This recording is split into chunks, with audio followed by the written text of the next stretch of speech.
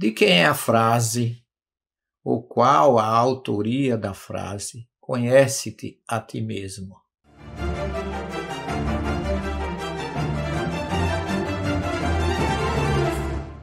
Essa frase foi encontrada no oráculo de Delfos, um oráculo muito importante, ficava ao norte do Golfo de Corinto, e ali foi fruto de uma criação do, de Apolo, filho de Zeus, quando fundou aquele oráculo, e ali foi encontrada essa frase. A questão 919 do Livro dos Espíritos Kardec pergunta ao Espírito da Verdade qual o meio mais prático de se atingir a perfeição e vencer as tendências más, e ele diz: um sábio da antiguidade escreveu que conhece-te a ti mesmo.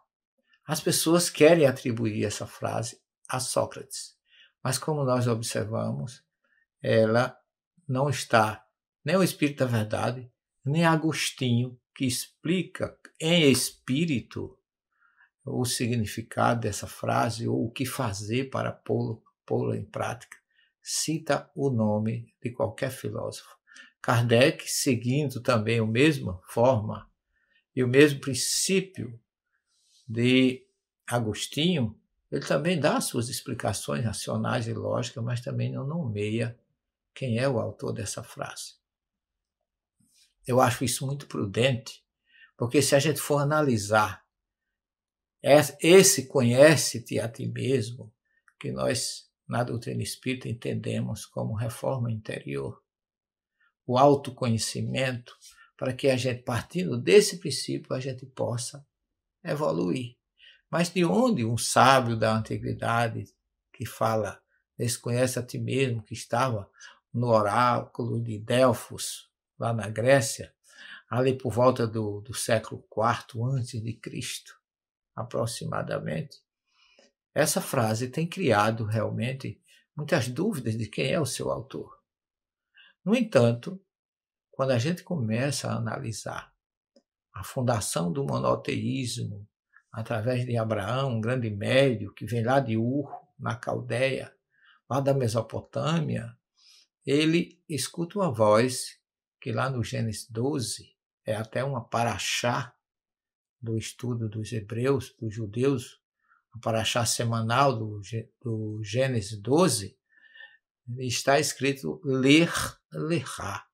E ler é do verbo ir, o imperativo afirmativo do verbo ir, que significa vai. Mas vai para onde? A expressão, a, fra a frase diz assim: ler que significa vai a pé, vai caminhando, lecha, para ti. Vai para ti mesmo, vai para dentro de ti, conhece-te a ti mesmo.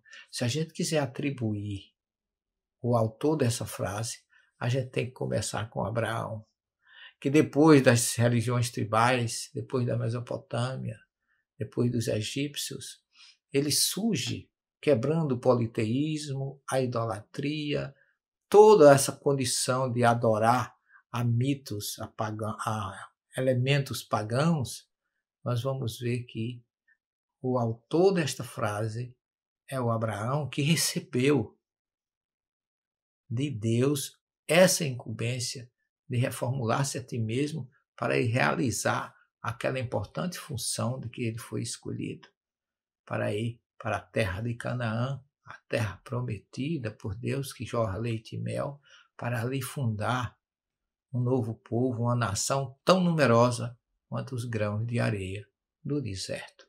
Por isso que a gente fica difícil de afirmar quem é o autor dessa frase, porque quem copiou quem aí, se a gente quiser que colocar nome àquele que a originou, foi o próprio Deus, através de Abraão, trazendo a importante mensagem da reforma interior que começando com Abraão, continuou com João o Batista no deserto, dizendo: Tahazuba techuvá, voltai-vos para dentro de vós mesmo, é, reformulai-vos. E aí a gente acaba com a terceira revelação, com a questão 919 do Livro dos Espíritos, que fala exatamente da reforma interior. Uma boa pergunta para a gente refletir a respeito e não adiantar-se falando que quem disse essa frase, conhece-te a ti mesmo, foi Sócrates. Ninguém pode afirmar isso. Inscreva-se no nosso canal, deixe o seu, seu like e nós estamos aqui felizes por mais esta oportunidade e até a próxima, quando Deus assim nos permitir. Muita paz para todos. Inscreva-se no canal e fique por dentro da comunicação em prol de um planeta de regeneração.